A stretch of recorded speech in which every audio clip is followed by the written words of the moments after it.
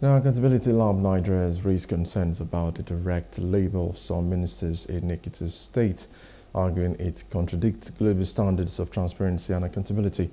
The group called for government commitment to champion accountability and gender inclusivity uh, through uh, open contracting and e-procurement uh, practices, advocating for legislative and policy reforms. Alfred Agu, an expert in the organization's monitoring, evaluation and learning associate department, suggested minimizing direct labor by implementing procurement thresholds in line with Ekiti State's public procurement law. Okay, so we found out that a lot of challenges um, in the engagement we had with um, the officials from the Bureau of Public Procurement and then CSOs. Some of the challenges are limited public engagement and awareness about procurement processes.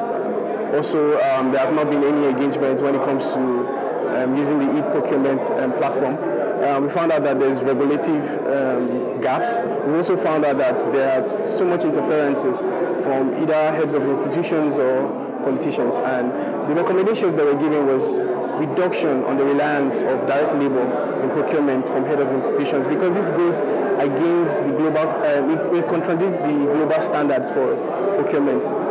A government that signed up for an open process should be made to uh, be committed to openness and uh, ensuring that accountability is, is, is, very critical, that they are accountable to citizens. Any government in place are elected by the people and they must work for the people. These are uh, also know, challenge us, especially as Bureau, to improve on the data that are being made public so that information will uh, be properly uh, useful to those that want to access the data and also the citizens will be able to use the data to uh, engage the government and also hold them accountable. So um, the stakeholder engagement actually helped to look at gray areas and also uh, look at gaps that are available uh, on the data. And also we have looked at possibility of improving. Hello, hope you enjoyed the news. Please do subscribe to our YouTube channel and don't forget to hit the notification button so you get notified about fresh news updates.